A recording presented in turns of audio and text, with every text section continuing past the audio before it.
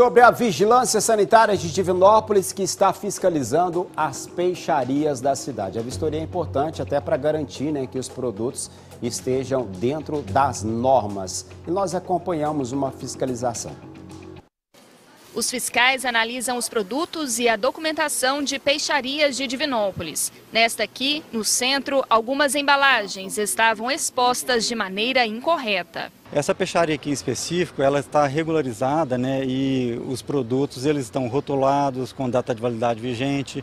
É, ali no caso nós pegamos ali alguns produtos que estão que têm alta rotatividade que estão sem o rótulo, mas aí nós vamos pedir dar um termo de intimação para que todo produto ele tenha o seu rótulo independente da rotatividade. De acordo com o dono, as embalagens serão novamente etiquetadas. Tem vezes que acontece, você coloca o produto e está congelado, você coloca o selo, eu acho que a cola não está muito boa, e aí é, costuma soltar alguns, entendeu? Então nós temos essa, essa, essa deficiência.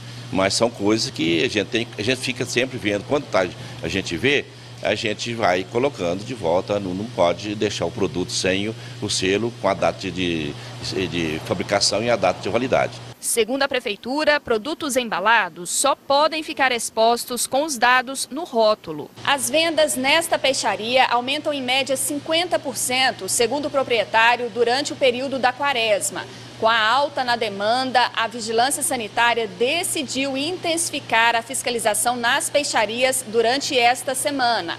14 estabelecimentos serão verificados. Nós estamos verificando as condições em que o ambiente, o, o alimento está, é, as condições sanitárias no geral, é, se existe registro em órgão competente é, se, o, se os alimentos estão apresentando alguma não conformidade. Estabelecimentos fora das normas podem ser advertidos ou multados. Vai depender da situação. No caso, se houver risco grave e iminente para a saúde da população, os alimentos são apreendidos e é lavrado um auto de infração que pode gerar uma multa de até 25 mil reais. Eu acho é, que a gente precisa dessa fiscalização, porque tem muito clandestino, a concorrência fica desleal porque o pessoal que não tem nada, não tem documentação, não, não trabalha dentro da legalidade, ele vende o produto pela metade do preço, praticamente. E outro, nós trabalhamos com alimento.